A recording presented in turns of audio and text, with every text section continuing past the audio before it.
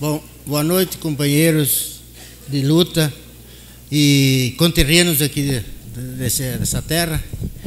Eu, já que o meu, meu companheiro já explanou quase tudo que eu tinha que falar, eu tenho pouca coisa para falar. Eu, hoje, apesar, depois de tantas humilhações que a gente passou naquela época, mas hoje estou sentindo assim totalmente o contrário. Estou me sentindo uma felicidade incrível por poder estar hoje aqui compartilhando com, com os senhores dessa, dessa grande concentração de, de pessoas que sofreram muito em prol da nossa democracia.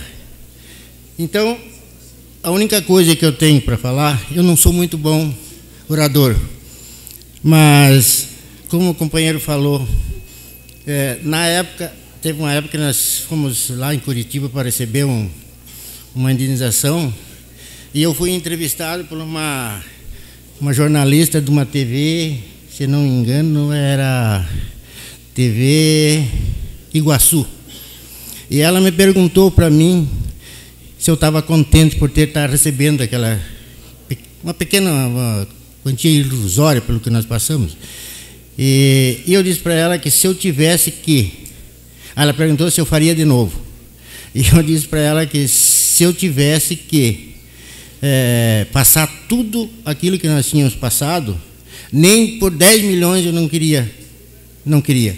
Mas que se a minha mãe pátria precisasse, eu derramaria uma última gota de sangue de graça sem, sem receber nada. Eu peço desculpa aos meus companheiros, porque estou um pouquinho emocionado e não tenho nem condições de falar outras coisas. Porque, claro que eu estou contente, porque me, hoje estou me reencontrando com os colegas se criamos junto, estudamos junto, jogamos futebol junto, e depois aconteceu tudo isso e nós tivemos que se, se, se separar um do outro e nunca mais encontrar um outro.